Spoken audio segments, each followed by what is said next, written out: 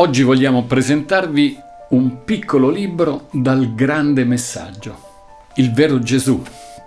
Questo breve volumetto è semplice e diretto e si può leggere tutto d'un fiato.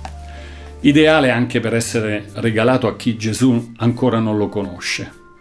L'autore è Karl Lafferton, direttore editoriale di una casa editrice evangelica.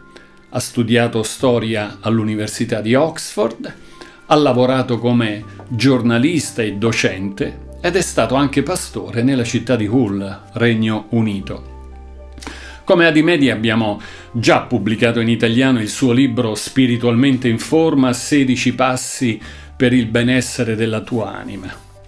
Ma tornando al nostro libro, all'inizio Karl Lafferton paragona i vari concetti che le persone hanno di Gesù ad un ritratto che sia uno scarabocchio, un disegno dettagliato. Nessun ritratto però può esaurire le mille sfumature che compongono una persona. Ecco il motivo per cui non sposiamo un ritratto e non facciamo amicizia con una fotografia. Non trattiamo il prossimo come se potesse essere sintetizzato in un disegno appena abbozzato. Tranne Gesù però. Generalmente, infatti, si pensa che Gesù dovrebbe essere considerato soltanto un'immagine, non riprodotto su di un foglio, ma nella mente umana. La maggior parte di noi a un certo punto gli ha dato almeno una rapida occhiata, forse andando in chiesa, ascoltando i racconti dei genitori o leggendo qualche libro e ha tracciato di lui un ritratto mentale, per quanto approssimativo.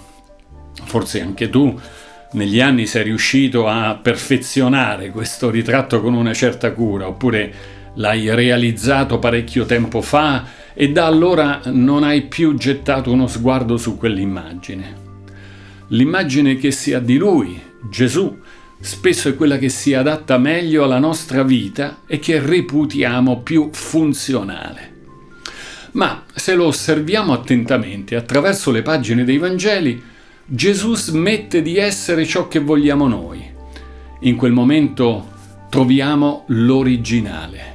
Scopriamo cioè che il vero Gesù, l'originale, quello che ha vissuto una vicenda profondamente umana, che ha camminato, parlato, mangiato, dormito, pianto, era molto meglio dell'immagine che spesso ci viene offerta di lui, perfino nella Chiesa, e assai più interessante, più controverso, più imprevedibile, più rilevante, decisamente più reale. E questo libro parla del vero Gesù. Potrebbe essere piuttosto diverso dal Gesù che pensavi di conoscere o che a un certo punto ti sei lasciato alle spalle, però di fatto è assolutamente reale. Nei vari capitoli che si susseguono, Karl Lafferton esamina sette modi di vedere Gesù molto diffusi. Un buon insegnante, un Dio distante, un combattente per la libertà, un giudice intollerante, un religiosissimo osservatore delle regole, un tragico fallimento o una favola per bambini addirittura. Ma attingendo dal Vangelo, Lafferton smonta questi concetti, confrontandoli con il vero Gesù facendoci capire perché è così importante sapere chi è davvero. Ogni capitolo è diviso in due sezioni principali. La prima parlerà di ciò che lui ha compiuto veramente, quello che Gesù ha effettivamente detto e fatto più di duemila anni fa. Nella seconda parte invece si vede quale impatto può avere tutto questo sulla nostra vita, sulle nostre speranze e sul nostro futuro. Esaminando alcuni episodi reali dei Vangeli, il lettore scoprirà le motivazioni più profonde delle azioni di Gesù, perché parlava del suo regno, perché è morto sulla croce, infine è risorto. I capitoli finali sono dedicati proprio alle parti umanamente più incredibili, come i miracoli di Gesù, la sua risurrezione, scoprirai che Gesù non ci ha offerto semplicemente una via di fuga dall'inferno e un biglietto d'ingresso per il paradiso, ma una relazione che comincia qui, ora, sulla terra.